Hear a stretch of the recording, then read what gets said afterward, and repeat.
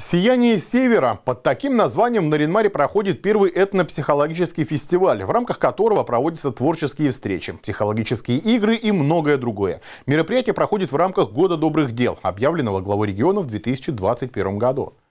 Пейзажи и портреты, представленные на выставке в музейном объединении Ненецкого округа, участники фестиваля привезли из трех регионов страны. Это те, кто прошел полугодовой курс «Код мастерства», нацеленный на то, чтобы открыть в каждом человеке его творческий потенциал. Рисовать я не умела, э, или, ну, пыталась когда-то, специальной подготовки нету, художественной школы нету. Вот. И просто пошла вот в этот кружок для интереса. Семья меня поддержала, отпустили, и вот туда хожу рисовать. Вот так вот и все, и началось, закрутило, завертелось, и так затянуло э, творчество, потому что я даже эти картины почему привезла-то?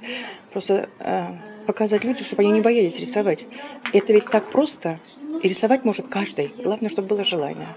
Фестиваль организован руководителем Центра психологического сопровождения семьи и детства «Радуга жизни», автора психологического курса «Код мастерства» и сказкотерапевтом Ларисой Борисовой. Полгода мы занимались в Саратове, в Челябинске, в Москве и в Наринмаре у нас была группа. И вот на седьмой наш финальный такой итоговый модуль. Мы собрались все здесь, прилетело на сегодня 17 человек. И будем работать в Наринмаре 4 дня. В рамках фестиваля «Сияние Севера» участники посетили с экскурсией Пустозерск, где провели психологический квест «Место силы», а также ряд других мероприятий. Александра Литкова, Леонид Шишилов, телеканал «Север».